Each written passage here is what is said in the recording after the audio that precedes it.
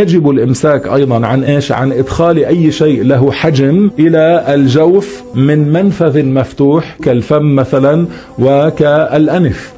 يعني مثلا إذا واحد كان صايم بيوم رمضان ثم بعد ذلك وضع في فمه شيء لا يؤكل عادة.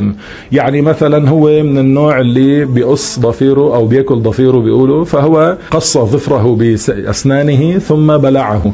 هذا الظفر هل له حجم؟ نعم وإن كان لا يؤكل. لأنه بلعه يعني جاوز شو؟ الحاء مخرج الحاء إلى جوفه أفطر ذاك الصائم. ولو كان مثلا الذي بلعه عمدا هو لنقول نسر من سواك. شيء من السواك بقي في فمه بدل أن يخرجه من فمه ابتلعه مثلا. جاوز الحاء إلى الجوف. شو صار بصيامه أفطر أفطر الصائم في ذاك اليوم. فبنعرف من هون مثلا إذا في أختنا مثلا عم تعمل الشوربة فوضعت شيئا في فمها تذوقته ثم مجته أي بصقته وغسلت فمها. فهل تفطر؟ لا تفطر. ليه؟ لأنه لم يجاوز مخرج ألحاء. العبرة بمخرج مخرج الحاء. وكيف تعرف مخرج الحاء؟